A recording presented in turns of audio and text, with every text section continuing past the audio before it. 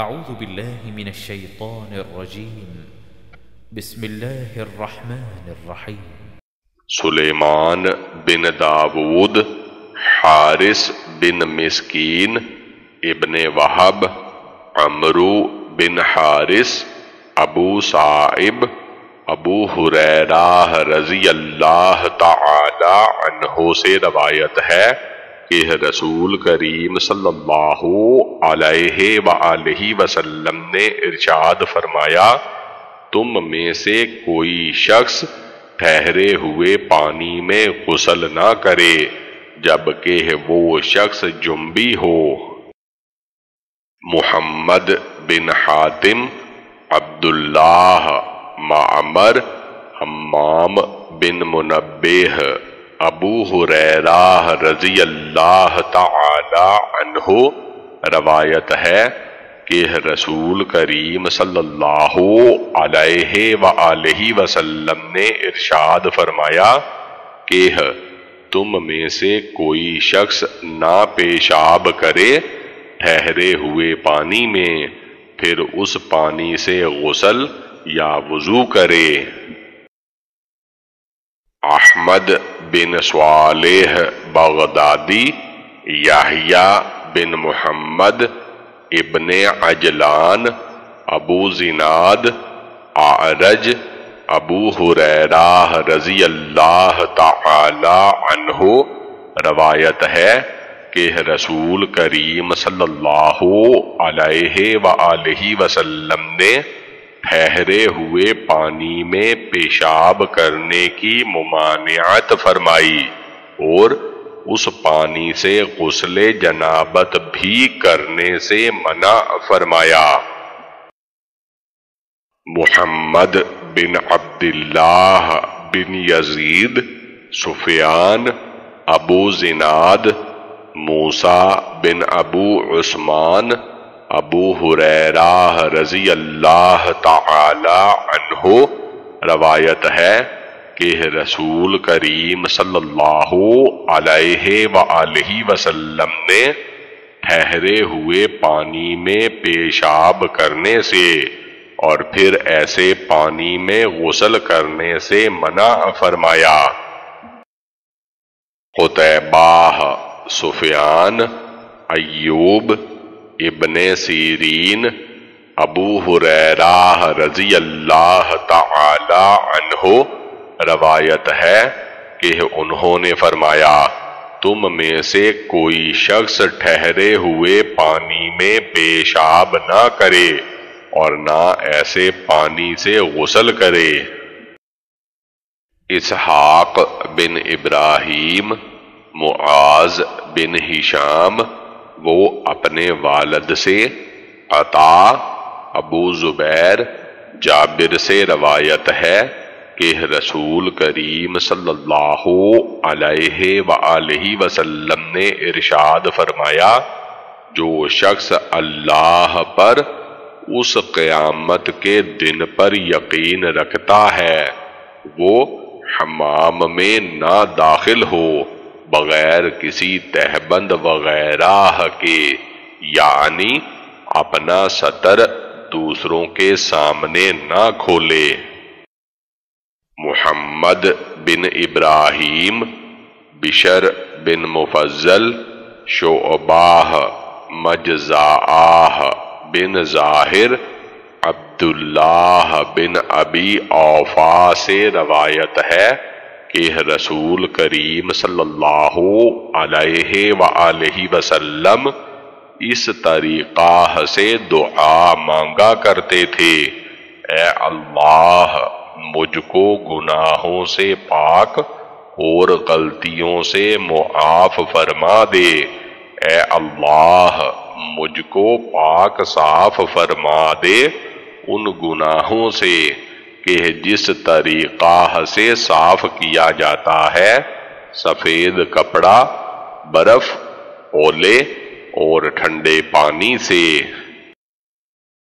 محمد بن یاہیا بن محمد محمد بن موسا ابراہیم بن یزید، رقباہ مجزاآہ اسلمی۔ ابن ابی اوفا سے روایت ہے کہ رسول کریم صلی اللہ علیہ وآلہ وسلم یہ دعا مانگا کرتے تھے۔ اے اللہ، مجھ کو گناہوں سے برف اولو اور ٹھنڈے پانی سے پاک صاف فرما دے۔ اے اللہ، مجھ کو گناہوں سے اس طریقہ سے پاک فرما، جس طریقہ سے سفید کپڑا، میل کچیل سے پاک صاف کر دیا جاتا ہے۔ شعیب بن یوسف عبد الرحمن بن مہدی، معاویہ بن صالح عبداللہ بن ابی قیس سے روایت ہے کہ حضرت عائشہ صدیقہ رضی اللہ تعالی عنہا سے میں نے دریافت کیا کہ رسول کریم صلی اللہ علیہ وآلہ وسلم حالت جنابت میں کس طریقہ سے سویا کرتے تھے۔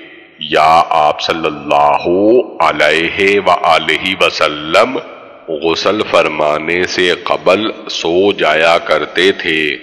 حضرت عائشہ صدیقہ نے فرمایا، آپ صلی اللہ علیہ وآلہ وسلم عام طریقہ سے عمل فرمایا کرتے تھے اور کبھی وضو فرما کر سو جاتے تھے۔ اور غسل نہ فرماتے، البتہ وضو لازمی طریقہ سے فرما لیا کرتے تھے۔ یحییٰ بن حبیب بن عربی، حماد، برد، عبادہ بن نسائی غسیف سے روایت ہے۔ کہ میں حضرت عائشہ صدیقہ رضی اللہ تعالی عنہا کی خدمت میں حاضر ہوا اور ان سے عرض کیا کہ رسول کریم صلی اللہ علیہ وآلہ وسلم، رات کے شروع حصہ میں غسل فرمایا کرتے تھے یا رات کے آخر میں؟ انہوں نے فرمایا کہ آپ صلی اللہ علیہ وآلہ وسلم ہر ایک طریقہ سے کیا کرتے تھے۔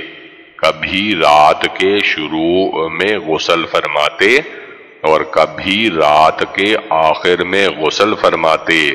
میں نے کہا، اللہ تعالی کا شکر ہے کہ جس نے دین میں وسعت رکھی۔ ابراہیم بن یعقوب، زہیر عبد المالک عطا، حضرت ابو یا سے روایت ہے کہ رسول کریم صلی اللہ علیہ وآلہ وسلم نے کسی شخص کو سامنے غسل کرتے ہوئے دیکھا یعنی بغیر کسی آڑ کے غسل کرتے ہوئے دیکھا۔ تو آپ صلی اللہ علیہ وآلہ وسلم ممبر پر چڑھ گئے اور اللہ کی حمد بیان فرمائی۔ پھر فرمایا، بلا شبہ اللہ تعالی علم اور شرم والا ہے اور پردہ ہمیں رکھتا ہے اور وہ دوست رکھتا ہے شرم اور پردہ کو۔ پس تم میں سے جس وقت کوئی شخص غسل کرے تو اس کو پردہ کر لینا چاہیے۔ ابو بکر بن اسحاق، اسود بن عامر، ابو بکر بن عیاش عبد المالک بن ابو سلیمان، عطا، حضرت ابو یا اللہ سے روایت ہے۔ کہ رسول کریم صلی اللہ علیہ وآلہ وسلم نے ارشاد فرمایا، بلا شبہ اللہ تعالی بہت پردہ والا ہے، تو تم میں سے جس وقت کوئی شخص غسل کرے، تو اس کو چاہیے کہ کسی چیز کی آڑ کر لے۔ اتباہ عبیدہ آمش، سالم، قریب، عبداللہ ابن عباس، میمونہ سے روایت ہے کہ میں نے رسول کریم صلی اللہ علیہ وآلہ وسلم کے غسل کرنے کے واسطے پانی رکھا اور میں نے آپ صلی اللہ علیہ وآلہ وسلم سے پردہ کر لیا۔ پھر غسل کا بیان فرمایا، میں ایک کپڑا بدن کے خشک کرنے کے واسطے لے کر حاضر ہوئی۔ تو آپ صلی اللہ علیہ وآلہ وسلم نے اس کا خیال نہیں فرمایا۔ احمد بن حفظ بن عبداللہ ابراہیم موسا بن اقباہ صفوان بن سلیم، عطا ابن یسار، ابو حریرہ رضی اللہ تعالی عنہ سے روایت ہے کہ رسول کریم صلی اللہ علیہ وآلہ وسلم نے ارشاد فرمایا، حضرت ایوب ننگے ہونے کی حالت میں غسل فرمایا کرتے تھے کہ اس دوران ان کے اوپر سونے کی ٹڈیاں آ کر گر گئیں، تو وہ اپنے کپڑے میں ان کو پکڑ کر سمیٹنے لگے۔ اس وقت اللہ تعالی نے ان کو پکارا اور فرمایا، اے ایوب، کیا میں نے تجھ کو غنی نہیں بنایا؟ حضرت ایوب نے فرمایا کس وجہ سے نہیں؟ اے میرے پروردگار یعنی تو نے مجھ کو بلا شبہ غنی بنایا ہے، لیکن میں تیری برکات سے غنی نہیں ہو سکتا۔ مطلب یہ ہے کہ میں چاہے جس قدر غنی ہو جاؤں، پھر بھی میں تیری نعمتوں کا محتاج ہی رہوں گا۔ قاسم بن زکاریہ بن دینار، اسحاق بن منصور، ابراہیم بن سعد، زہری، قاسم بن محمد، عائشہ صدیقہ رضی اللہ تعالی عنہا سے روایت ہے کہ رسول کریم صلی اللہ علیہ وآلہ وسلم ایک برتن سے غسل فرماتے جو کہ ایک فرق تھا۔ اور میں اور آپ صلی اللہ علیہ وآلہ وسلم ایک ہی برتن میں غسل فرماتے یعنی دونوں ہاتھ ڈال کر اس میں سے پانی لیتے جاتے تھے۔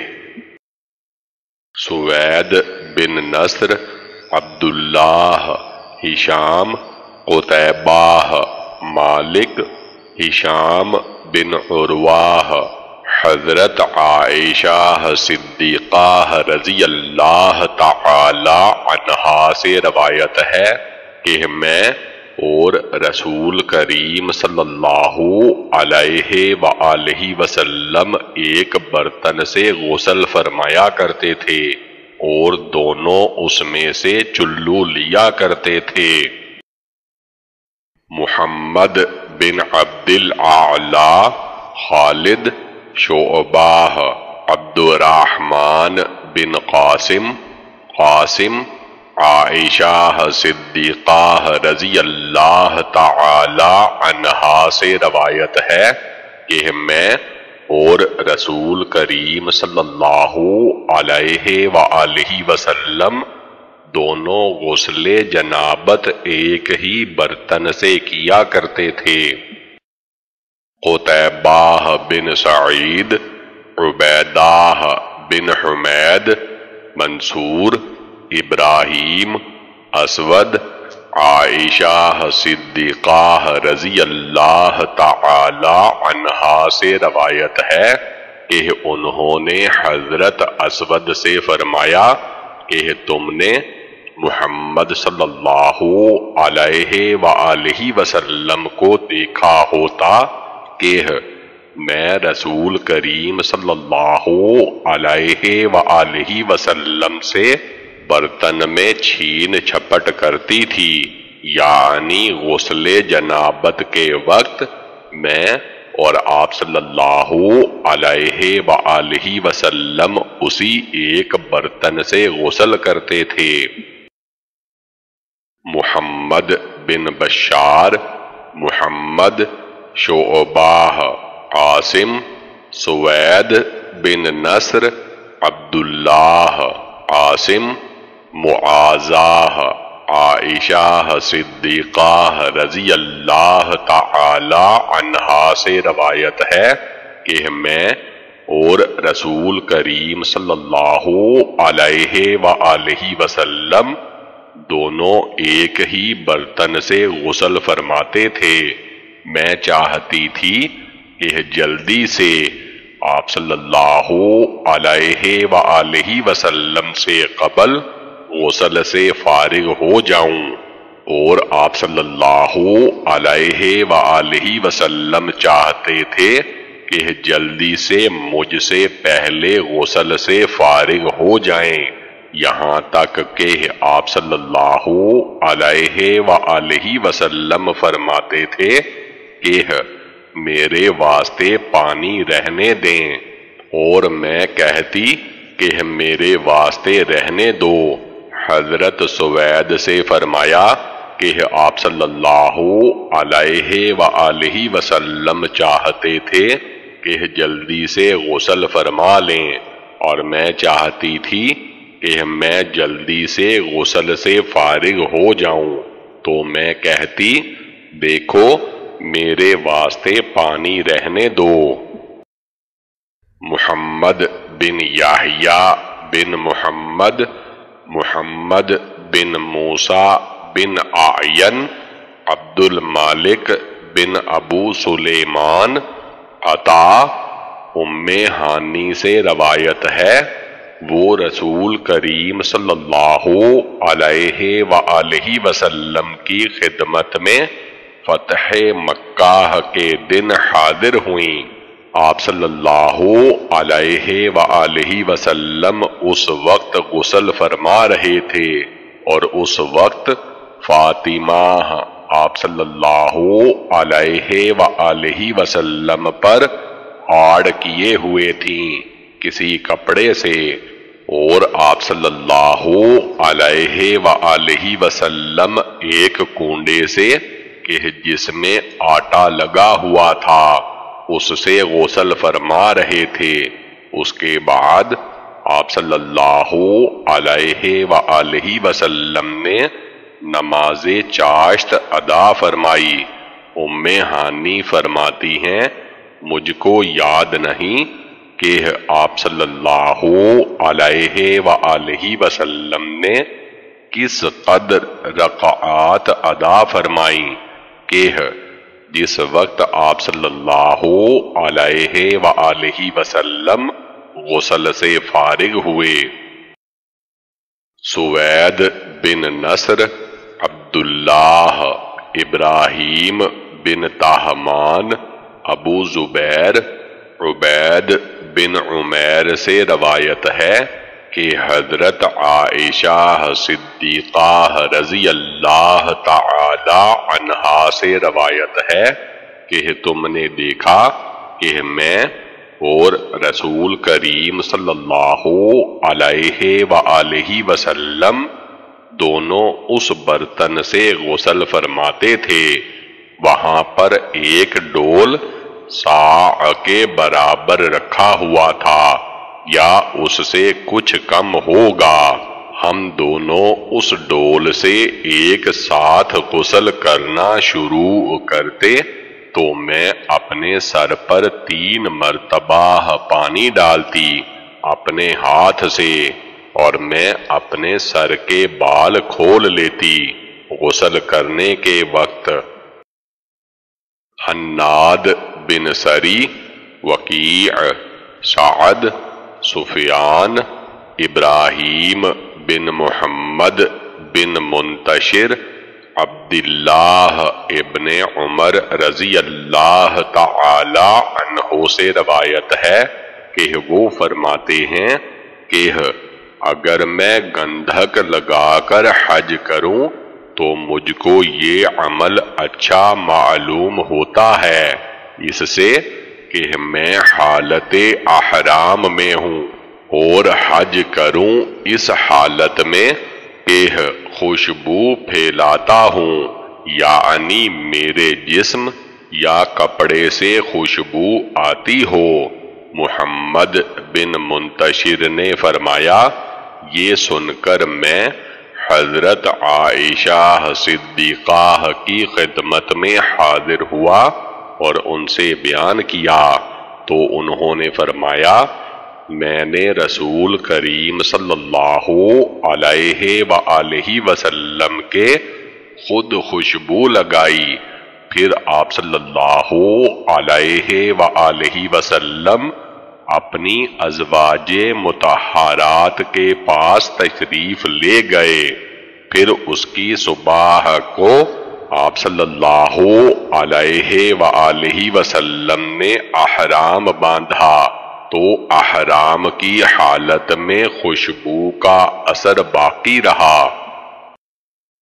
محمد بن علی، محمد بن یوسف، سفیان آمش سالم، قریب، عبداللہ ابن عباس میمونہ سے روایت ہے کہ رسول کریم صلی اللہ علیہ وآلہ وسلم نے اس طریقہ سے وضو فرمایا کہ جس طریقہ سے آپ صلی اللہ علیہ وآلہ وسلم نماز ادا کرنے کے واسطے وضو فرمایا کرتے تھے، لیکن آپ صلی اللہ علیہ وآلہ وسلم نے اپنے پاؤں مبارک نہیں دھوئے اور جو کچھ اس پاؤں پر لگا تھا، آپ صلی اللہ علیہ وآلہ وسلم نے اس کو دھویا۔ پھر آپ صلی اللہ علیہ وآلہ وسلم نے اپنے جسم پر پانی بہایا۔ اس کے بعد اپنے پاؤں کو وہاں سے ہٹایا اور دونوں پاؤں مبارک دھوئے۔ حضرت میمونہ سے روایت ہے کہ آپ صلی اللہ علیہ وآلہ وسلم کا غسل جنابت یہی تھا۔ محمد بن علا، ابو معاویہ آمش سالم بن ابی جعد، قریب، عبداللہ ابن عباس، میمونہ رضی اللہ تعالی عنہا سے روایت ہے کہ رسول کریم صلی اللہ علیہ وآلہ وسلم جس وقت غسل جنابت فرماتے، تو پہلے آپ صلی اللہ علیہ وآلہ وسلم دونوں ہاتھ مبارک دھوتے، پھر دائیں ہاتھ سے بائیں ہاتھ پر پانی ڈالتے اور شرم گاہ دھوتے، پھر اپنا دایاں ہاتھ زمین پر مارتے اور اس پر رگڑتے۔ اس کے بعد آپ صلی اللہ علیہ وآلہ وسلم ہاتھ دھوتے۔ اور جس طریقہ سے نماز کے لیے وضو کیا جاتا ہے، اسی طریقہ سے وضو فرماتے۔ پھر سر مبارک اور پورے جسم پر پانی ڈالتے۔ اس کے بعد آپ صلی اللہ علیہ وآلہ وسلم اس جگہ سے ہٹ جاتے اور اپنے دونوں پاؤں مبارک پانی سے دھوتے۔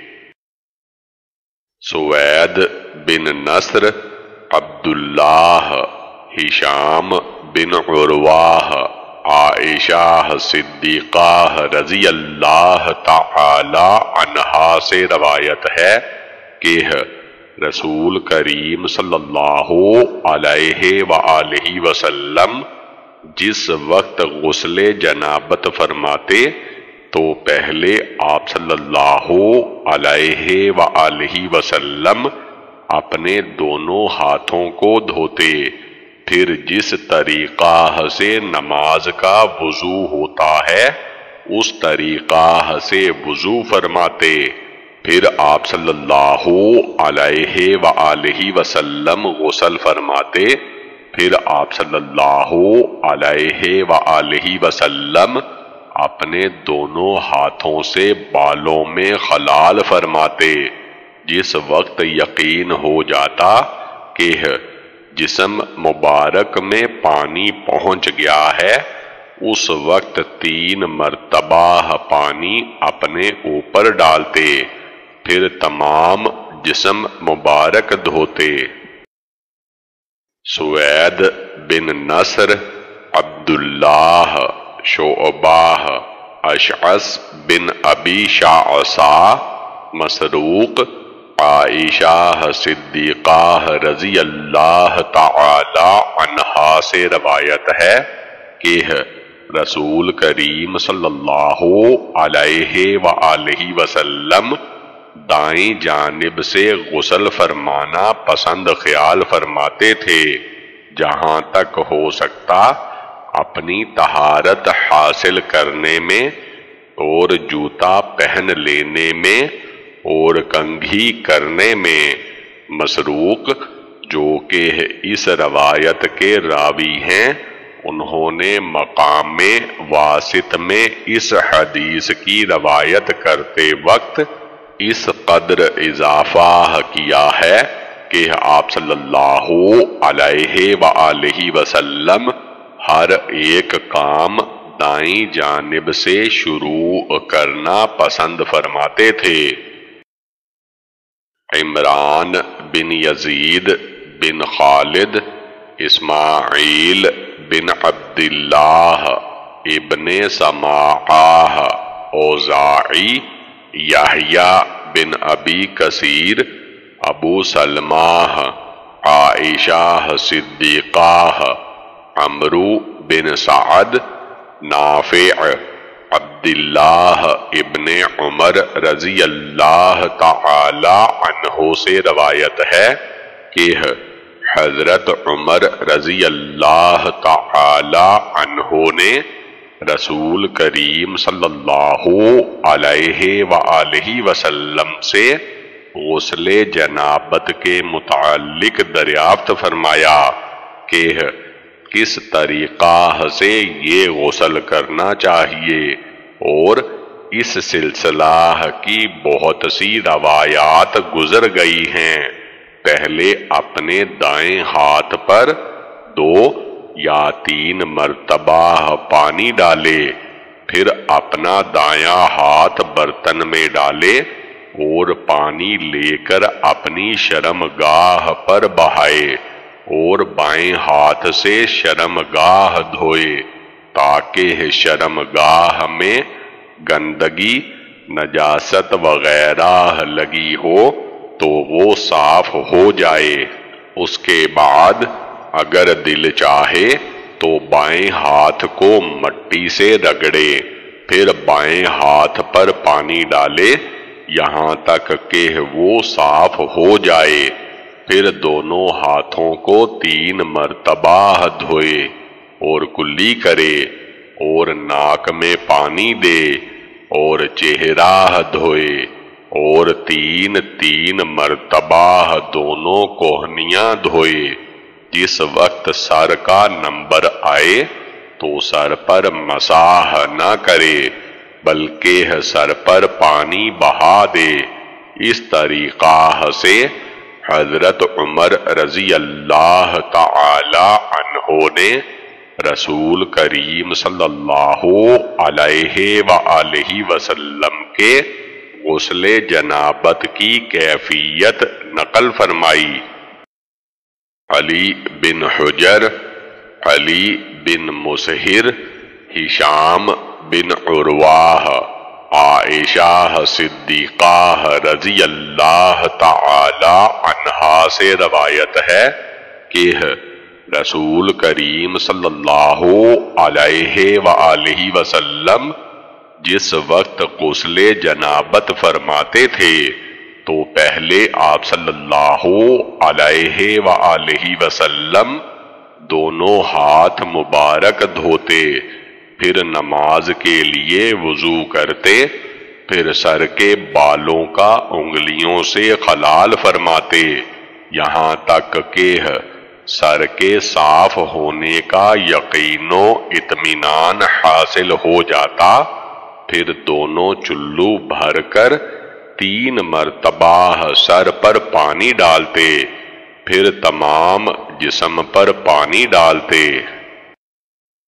محمد بن مسنہ زحاق بن مخلد، حنزلہ بن ابی سفیان، قاسم، عائشہ صدیقہ رضی اللہ تعالی عنہا سے روایت ہے کہ رسول کریم صلی اللہ علیہ وآلہ وسلم جس وقت غسل جنابت فرماتے تو ایک برتن پانی منگاتے حلاب کی طرح کا، اور ہاتھ میں لے کر پہلے سر کے دائیں جانب سے غسل کا آغاز فرماتے، پھر بائیں جانب سے، پھر دونوں ہاتھ سے پانی لیتے اور سر پر پانی ملتے۔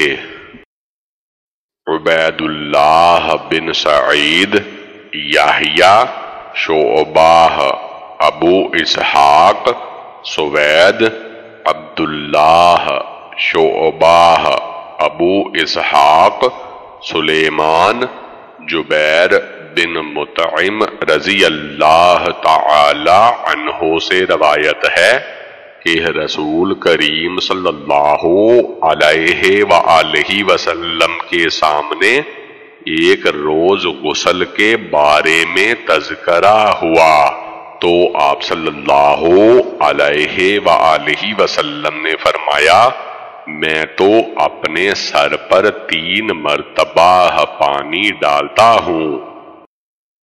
محمد بن عبد العلا خالد، شعبہ، مخول، ابو جعفر جابر سے روایت ہے کہ رسول کریم صلی اللہ علیہ وآلہ وسلم جس وقت غسل فرماتے تو اپنے سر پر تین مرتبہ پانی ڈالتے۔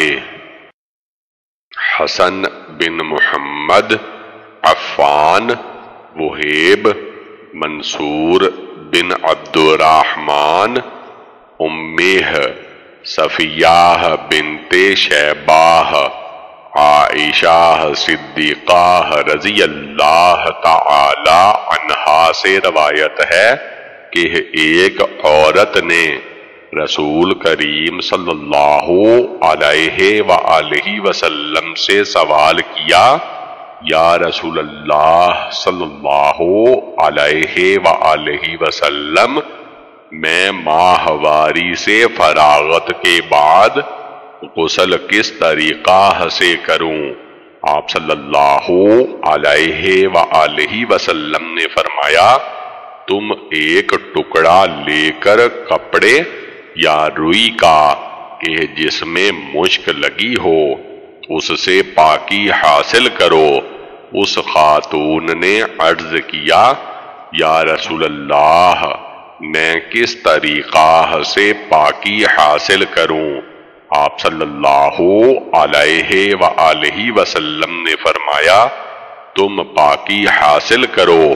یہ سن کر رسول کریم صلی اللہ علیہ وآلہ وسلم نے سبحان اللہ فرمایا اور اس خاتون کی جانب سے چہرہ پھیر لیا۔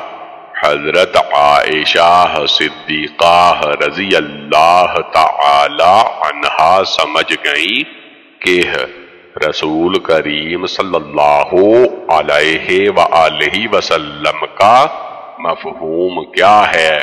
انہوں نے فرمایا، میں نے اس خاتون کو اپنی جانب کھینچ لیا، پھر رسول کریم صلی اللہ علیہ وآلہ وسلم کا جو مقصد تھا، اس کو واضح فرما دیا۔ اسحاق بن ابراہیم، جریر آمش سالم بن ابی جعد، قریب، عبداللہ ابن عباس میمونہ رضی اللہ تعالی عنہا فرماتی ہیں کہ رسول کریم صلی اللہ علیہ وآلہ وسلم نے غسل جنابت کیا تو اپنی شرم گاہ کو دھویا، پھر ہاتھ کو زمین پر یا دیوار پر رگڑا، پھر نماز کی طرح وضو کیا اور پھر پورے بدن اور سر پر ایک مرتبہ پانی بہایا۔ امرو بن علی، محمد بن مسنہ، یعقوب بن ابراہیم یحییٰ بن سعد، جعفر بن محمد سے روایت ہے کہ انہوں نے اپنے والد امام محمد باقر سے سنا، انہوں نے کہا، ہم لوگ جابر بن عبداللہ کی خدمت میں حاضر ہوئے اور ان سے حجات الوداع کے بارے میں پوچھا۔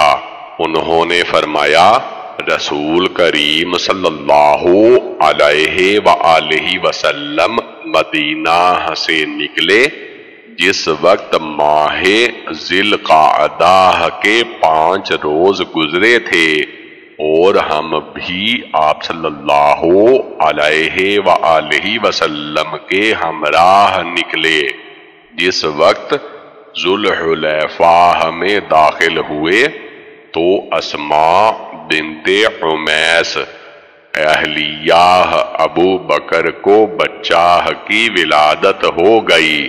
کہ جس کا نام محمد بن ابی بکر تھا۔ انہوں نے کسی کو نبی صلی اللہ علیہ وآلہ وسلم کی خدمت میں روانہ کیا اور پوچھا، اب مجھ کو کیا کرنا چاہیے؟ آپ صلی اللہ علیہ وآلہ وسلم نے فرمایا، تم غسل کر کے لنگوٹ باندھ لو۔ اس کے بعد آپ صلی اللہ علیہ وآلہ وسلم نے لبیک پکارا یعنی اب احرام باندھ لو۔ احمد بن عثمان بن حکیم، حسن، ابو اسحاق، عمرو بن علی عبد الرحمن شریک، ابو اسحاق اسود، عائشہ صدیقہ رضی اللہ تعالی عنہا سے روایت ہے کہ رسول کریم صلی اللہ علیہ وآلہ وسلم غسل کرنے کے بعد وضو نہیں فرماتے تھے، کیونکہ غسل کرنا کافی ہے۔ حمید بن مسعدہ، بشر ابن مفضل شعباہ ابراہیم بن محمد عائشہ صدیقہ رضی اللہ تعالی عنہا سے روایت ہے کہ رسول کریم صلی اللہ علیہ وآلہ وسلم کے خوشبو لگایا کرتی تھی۔ آپ صلی اللہ علیہ وآلہ وسلم اپنی ازواج متحرات کے پاس ہوتے تھے۔ پھر آپ صلی اللہ علیہ وآلہ وسلم صبح کو احرام باندھے ہوتے تھے اور آپ صلی اللہ علیہ وآلہ وسلم کے جسم مبارک سے خوشبو مہکتی تھی۔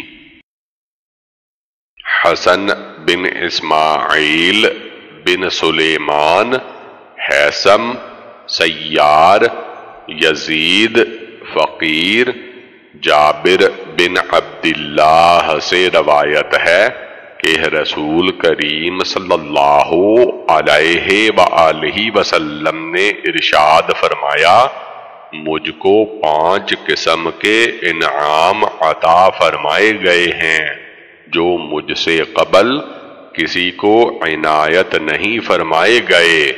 اول تو ایک ماہ کے رعب کے ساتھ مدد کیا گیا ہوں۔ دوسرے یہ کہ میرے واسطے زمین مسجد بنائی گئی ہے۔ تیسری بات یہ ہے کہ میرے واسطے تمام زمین پاک بنائی گئی۔ یعنی تیمم کی دولت سے میں نوازا گیا ہوں۔ گزشتہ کسی امت کو یہ دولت حاصل نہیں تھی۔ اس وجہ سے اب میری امت میں سے جس شخص کو جس جگہ نماز کا وقت آ جائے، وہ نماز ادا کرے۔ اور چوتھی بات یہ ہے کہ مجھ کو شفاعت کبرا کا حق دیا گیا ہے یعنی شفاعت عامہ میرے واسطے خاص کر دی گئی ہے۔ پانچویں بات یہ ہے کہ میں پوری کائنات اور تمام بنی نوع انسان کے لیے نبی بنا کر بھیجا گیا ہوں یعنی مجھ سے پہلے ہر ایک نبی خاص اپنی قوم کی جانب بھیجا جاتا ہے۔ مسلم بن عمرو بن مسلم ابن نافع لیس بن سعد، بکر بن سواداہ، عطا بن یسار، ابو سعید رضی اللہ تعالی عنہ سے روایت ہے۔ کہ دو آدمیوں نے تیمم کیا اور نماز ادا کر لی، پھر وقت کے اندر ان کو پانی مل گیا یا ایک شخص نے وضو کر لیا اور نماز کا اس نے آداہ کر لیا اور دوسرے شخص نے نماز نہیں لوٹائی۔ پھر دونوں نے رسول کریم صلی اللہ علیہ وآلہ وسلم سے دریافت کیا تو آپ صلی اللہ علیہ وآلہ وسلم نے اس شخص سے ارشاد فرمایا کہ جس نے نماز نہیں لوٹائی تھی کہ تم نے سنت پر عمل کیا یعنی حکم شراح اسی طریقہ سے ہے کہ نماز کا ادا کرنا لازم نہیں اور تمہاری نماز ہو گئی۔ اور دوسرے شخص سے فرمایا، تمہارے واسطے دو گنا حصہ ہے، یا تمہارے واسطے ایک لشکر کا حصہ ہے۔ مطلب یہ ہے کہ جس طریقہ سے لشکر کو غنیمت کے مال سے حصہ ملتا ہے، اس قدر تم کو اجر ملے گا۔ سوید بن نصر، عبداللہ لیس بن سعد امیراہ بکر بن سواداہ عطا بن یسار سے مذکورہ روایت مرسلن، جیسی روایت اوپر گزری ہے۔ محمد بن عبد الاعلی، خالد شعباہ طارق بن شہاب سے روایت ہے کہ ایک شخص کو جنابت لاحق ہوئی تو اس شخص نے نماز نہیں پڑھی۔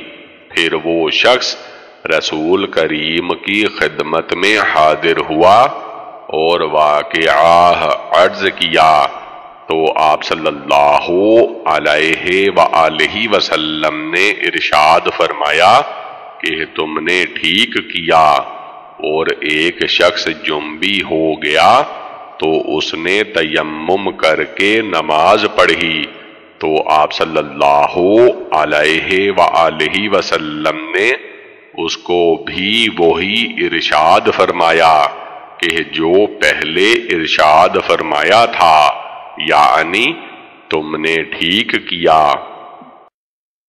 علی بن میمون، مخلد بن یزید، ابن جریج، عطا ابن عباس رضی اللہ تعالی عنہ سے روایت ہے۔ کہ حضرت علی مقداد اور حضرت عمار نے آپس میں بات چیت کی تو حضرت علی رضی اللہ تعالی عنہ نے فرمایا، مجھے بہت زیادہ مزی آتی ہے اور میں اس مسئلہ کو رسول کریم صلی اللہ علیہ وآلہ وسلم سے دریافت کرنے سے شرم محسوس کرتا ہوں۔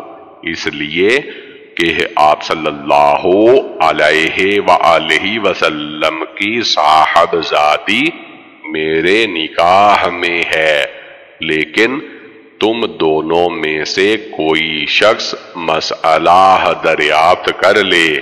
تو میں نے سنا کہ ان دونوں میں سے مقداد بن اسود اور عمار بن یاسر میں سے کوئی شخص یہ مسئلہ دریافت کرے، چنانچہ ان حضرات میں سے کسی نے یہ مسئلہ دریافت کیا، لیکن میں بھول گیا کہ مسئلہ دریافت کرنے والے کون صاحب تھے۔ نبی صلی اللہ علیہ وآلہ وسلم نے ارشاد فرمایا، جس وقت تم میں سے کسی شخص کو ایسا ہو کہ اتفاق سے اس کے مزی نکل آئے، تو اس کو چاہیے کہ اس کو دھو ڈالے، پھر نماز کی طرح کا وضو کر لے۔ محمد بن حاتم عبداہ سلیمان عامش حبیب بن ابی ثابت، سعید بن جبیر، ابن عباس، علی رضی اللہ تعالی عنہ سے روایت ہے کہ مجھ کو بہت زیادہ مزی آتی تھی۔ میں نے ایک شخص سے کہا کہ تم رسول کریم صلی اللہ علیہ وآلہ وسلم سے اس بات کا تذکرہ کرو۔ چنانچہ ان صاحب نے خدمت نبوی صلی اللہ علیہ وآلہ وسلم میں اس مسئلہ کا تذکرہ کیا۔ آپ صلی اللہ علیہ وآلہ وسلم نے ارشاد فرمایا مزی میں صرف وضو کرنا کافی ہے۔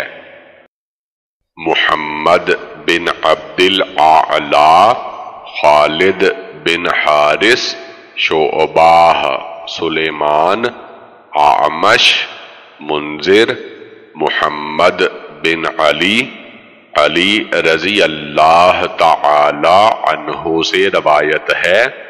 کہ مجھ کو شرم و حیا کی وجہ سے رسول کریم صلی اللہ علیہ وآلہ وسلم سے مزی کے متعلق مسئلہ معلوم کرنے میں شرم محسوس ہوئی، کیونکہ فاطمہ میری منکوحہ تھیں اس وجہ سے میں نے حضرت مقداد سے کہا، تو انہوں نے رسول کریم صلی اللہ علیہ وآلہ وسلم سے مسئلہ دریافت فرمایا۔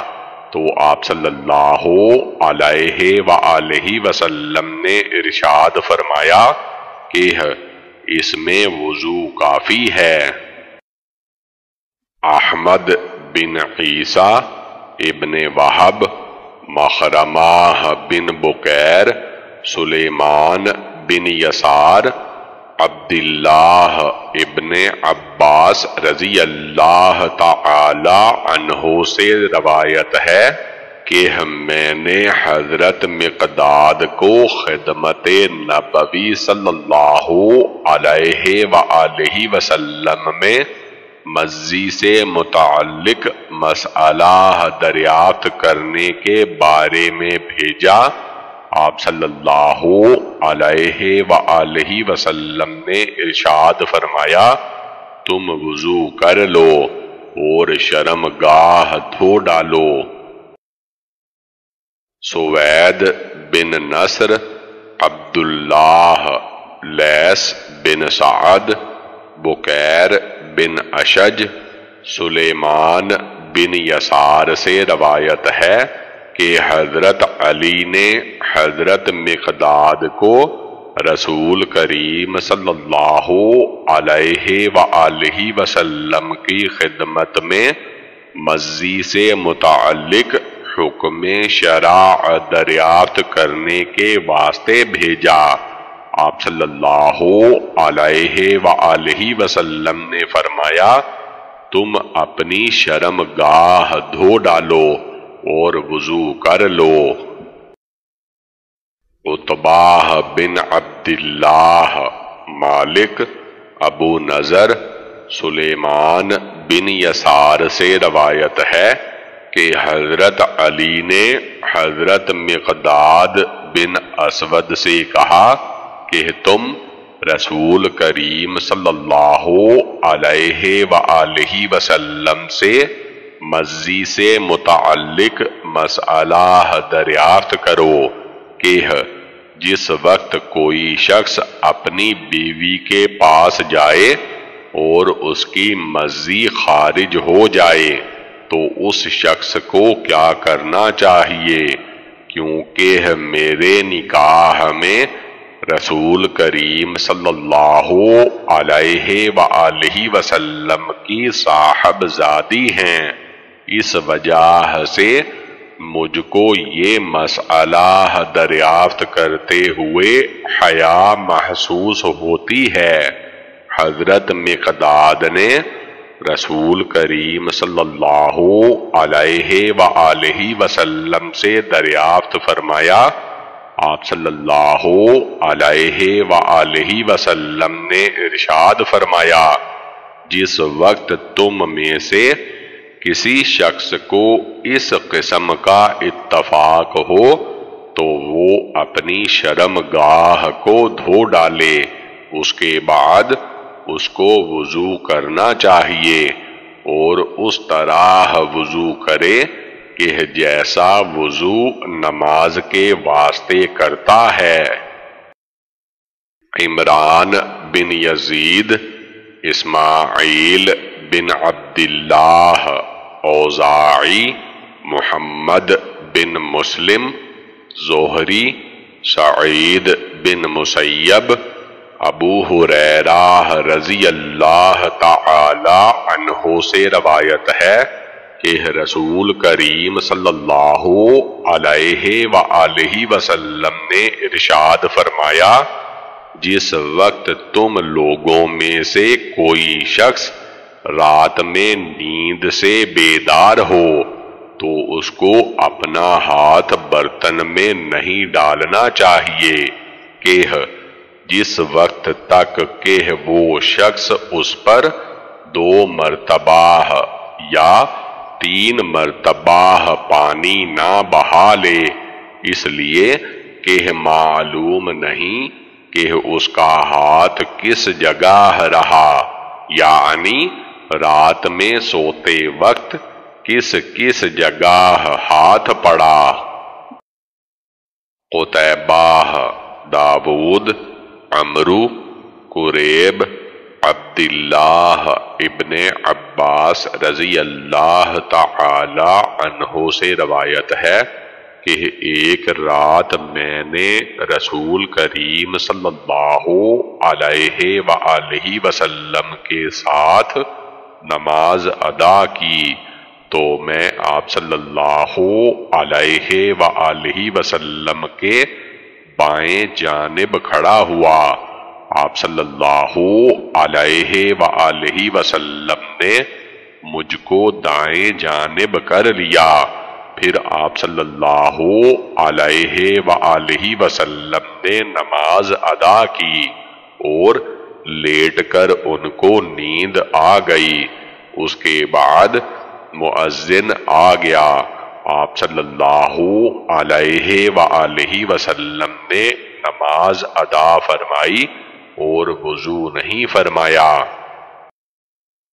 یا عقوب بن ابراہیم، محمد بن عبد الرحمن طفاوی، ایوب ابو قلاباہ۔ انس سے روایت ہے کہ رسول کریم صلی اللہ علیہ وآلہ وسلم نے ارشاد فرمایا، تم لوگوں میں سے جس وقت کوئی شخص نماز میں اونگھنے لگ جائے تو اس کو چلے جانا چاہیے اور سو جانا چاہیے، کیونکہ اونگ کی حالت میں نماز ادا کرنا بہتر نہیں ہے۔ خطیبہ سفیان عبداللہ یعنی ابن ابو بکر، ابو عبد الرحمن عرواہ بسراہ بنت صفوان سے روایت ہے کہ رسول کریم صلی اللہ علیہ وآلہ وسلم نے ارشاد فرمایا کہ جو شخص اپنی شرم گاہ کو چھوئے، اس کو چاہیے کہ وضو کرے۔ عمران بن موسا محمد بن سوا شعباہ معمر، زہری عرواہ بن زبیر، بسراہ بنت صفوان سے روایت ہے کہ رسول کریم صلی اللہ علیہ وآلہ وسلم نے ارشاد فرمایا کہ جس وقت تم لوگوں میں سے کوئی شخص اپنا ہاتھ شرم گاہ تک پہنچائے اس کو چاہیے کہ وہ وضو کرے۔ قطعباہ لیس ابن شہاب، عرواہ بن زبیر سے روایت ہے کہ مروان بن حکم نے بیان کیا کہ شرم گاہ چھونے سے وضو لازمی ہے اور فرمایا کہ مجھ سے حضرت بسراہ بنت صفوان نے اس واقعہ کو بیان فرمایا کہ حضرت عرواہ نے کسی کو حضرت بسراہ کے پاس بھیجا۔ بسراہ نے کہا کہ رسول کریم صلی اللہ علیہ وآلہ وسلم نے ان باتوں کا تذکرہ فرمایا۔ کہ جن سے وضو کرنا لازم ہوتا ہے۔ تو ارشاد فرمایا کہ شرم گاہ کو چھونے سے وضو کرنا لازم ہے۔ اسحاق بن منصور یحییٰ بن سعید، ہشام بن عرواہ بسراہ بنت صفوان سے روایت ہے۔ کہ رسول کریم صلی اللہ علیہ وآلہ وسلم نے ارشاد فرمایا، جو شخص اپنی شرم گاہ کو چھوئے تو اس کو چاہیے کہ وہ شخص نماز نہ پڑھے جب تک وضو نہ کر لے۔